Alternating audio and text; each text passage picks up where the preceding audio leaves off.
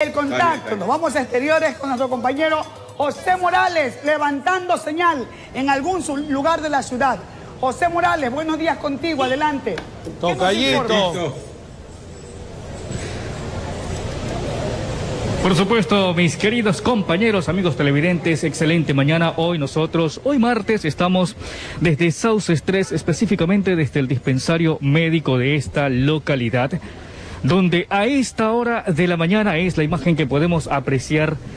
Madres de familia, también padres de familia, se encuentran presentes formando parte de las columnas a la espera de poder ingresar y realizar la vacunación respectiva para sus niños.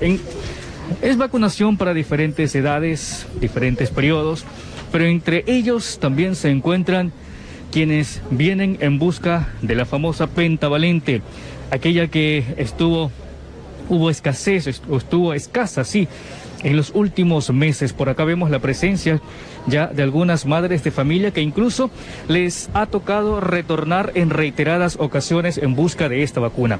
Mi querida amiga, buen día. Su nombre, por favor. Mariela Franco. Doña, mi, mi, estimada amiga, usted me decía, su niño ya tiene cuatro meses. Y todavía le falta la de los dos meses. Exactamente. Me faltó, yo tenía que ponerla en diciembre, pero porque no había me dijeron que regrese. Así estuve más de dos meses esperándola, yendo a los centros de salud y no le podían poner. Justamente ahorita me dicen de que tiene la pentavalente, pero no hay la neumococo. O sea, hay que esperar un mes más para poderle poner la neumococo, la que ya sería de los cuatro meses que le toca poner.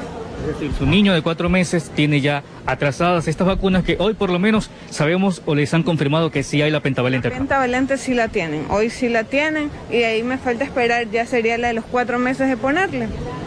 Ahora, durante este tiempo de pronto intentó buscar en centros médicos particulares.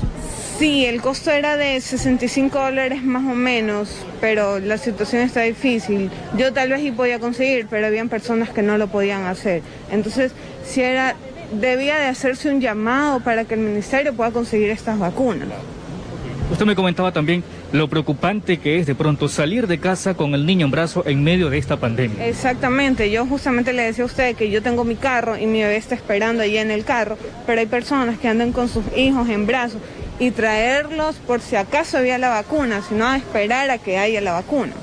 Perfecto, muchísimas gracias, mi amiga. Por acá vemos también la presencia de otra mami, otra mamita por acá, mi estimada amiga. Buen día. ¿Usted también en busca de la pentavalente? Sí, la de para un añito.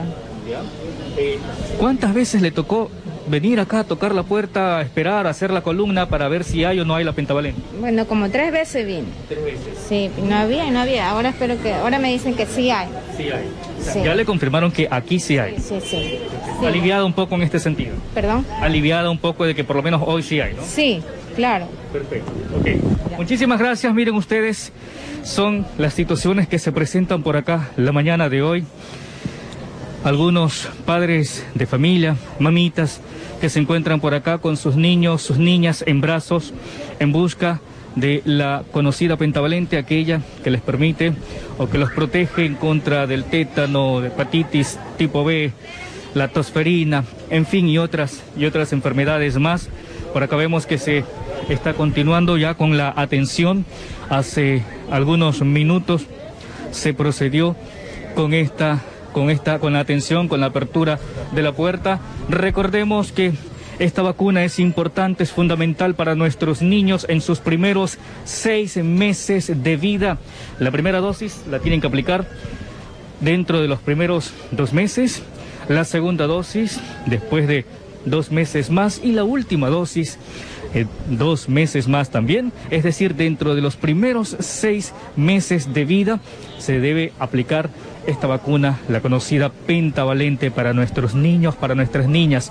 Conocíamos incluso de algunas madres que nos señalaban, aquí viene por ejemplo una de ellas, nos señalaban que les tocó consultar también en algunos centros médicos particulares, de pronto como una opción en vista de que no hay en el área pública, de pronto buscar en espacios particulares, pero los valores allá normalmente normalmente estaban en 60 dólares, ahora con esta escasez se han elevado entre 90 a 125 dólares. Bien, es la situación que les llevamos hasta esta hora de la mañana desde el dispensario de la Ciudadela Sauces 3. Hoy sí hay, ya les confirmaron, sí hay la pentavalente para sus niños. Compañeros, amigos televidentes, ustedes en estudio, con más información. Adelante.